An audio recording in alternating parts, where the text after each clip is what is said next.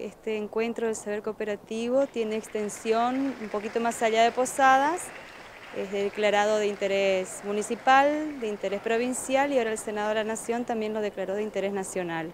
Están invitadas escuelas de toda la provincia, de otras provincias también y em, iban a venir escuelas de Paraguay y de Brasil que, bueno, eh, por algunas razones no pudieron llegar, enviaron sí sus saludos, sus videos de aportando eh, los números y todo lo, su participación en el, en el certamen.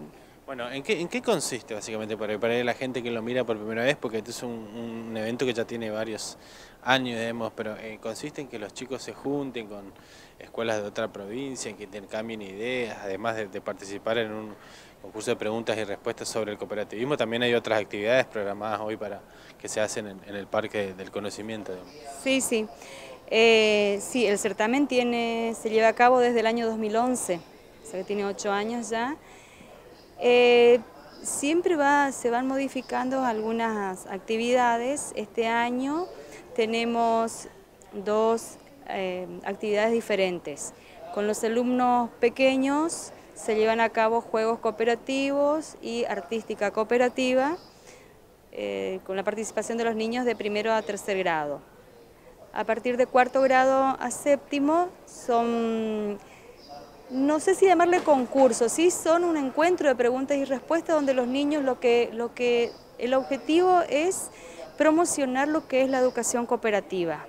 Ellos eh, tienen diferentes propuestas, propuestas de PowerPoint, propuestas de Sketch, donde representan lo que es la educación cooperativa y lo que es una cooperativa también.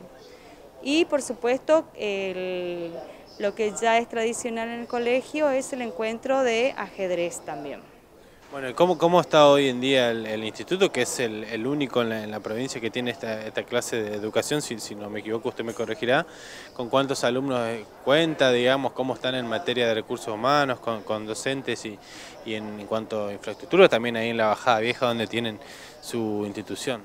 Sí, eh, por ahora estamos en la Bajada Vieja y el instituto cuenta con nivel inicial y primaria. ¿sí? Este, tienen dos divisiones de nivel inicial, salita de tres, sala de cuatro y sala de cinco. Y en la escuela primaria, bueno, de primero a séptimo grado, se mm, dictan como cualquier otra escuela y tienen también la particularidad de que en el área artística tenemos las cuatro áreas que son teatro, folclore, música y plástica. También inglés, educación física, eh, tecnología, informática, todas las áreas curriculares y también talleres de cooperativismo taller de, y de ajedrez. Bueno, la, idea es que el, evento hoy en sí se dure hasta todo, todo el día, hasta el mediodía. ¿Cuántos chicos aproximadamente creen que, van a participar? El evento está programado para que dure hasta el mediodía y los alumnos inscritos para participar son 198. Todo entre todas las escuelas que vienen, digamos, que son, que son varias. Sí, sí, entre todas las escuelas son 98 los participantes en, en preguntas, respuestas y ajedrez.